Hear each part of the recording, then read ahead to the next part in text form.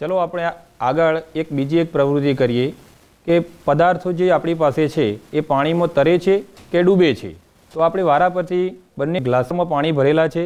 એમાં વારા પરથી આપણે એક એક પદાર્થ નાખી જોઈએ. તો શું થાય છે? આપણે જોઈએ. પહેલાં આપણે જોઈએ કે સુકાયેલા પર્ણો એ આપણે આ પાણીની અંદર નાખવા જોઈએ. તો લગભગ એ ઉપરની સપાટી ઉપર તરતું જોવા મળે છે. ત્યારબાદ આપણે પ્લાસ્ટિકનું એક ઢાંકણ છે, એ પણ આપણે પાણીની ઉપર આ રીતના નાખીએ, તો એ તરતું જોવા મળે છે. ત્યારબાદ અન્ય એક લઈએ, તો કાચના ટુકડા આપણે એ જ ગ્લાસમાં આપણે નાખી જોઈએ, તો એ તરત ડૂબી જતા જોવા મળે છે. એ પછી આપણે એક લાકડું લઈએ, તો એ ઉપરની બાજુમાં તરતું જોવા મળે છે. ત્યારબાદ લોખંડની ખીલી,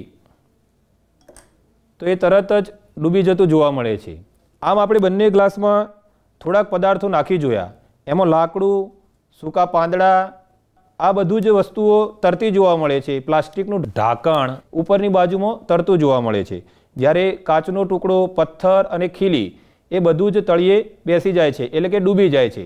આ ઉપરથી આપણે જોઈ શકીએ કે કયા કયા પદાર્થો તરી શકે છે અને ડૂબી શકે છે.